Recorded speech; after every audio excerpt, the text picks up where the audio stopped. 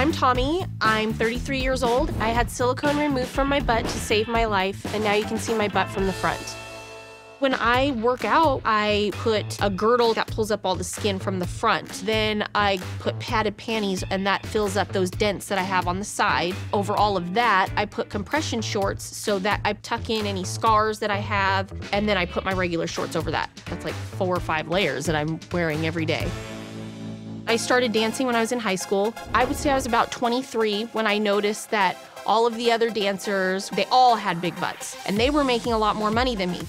My girlfriend was getting silicone injections in her butt by this lady that would fly in from Florida. She was a retired nurse. We met at a nice hotel. I laid down on the bed. She pulled out a huge needle and she had like red Kager cups that she was like filling up with stuff. And I asked her what it was, and she said like silicone, but I didn't ask enough questions. At that point in my life, I was so just like living so crazy that I thought I was invincible.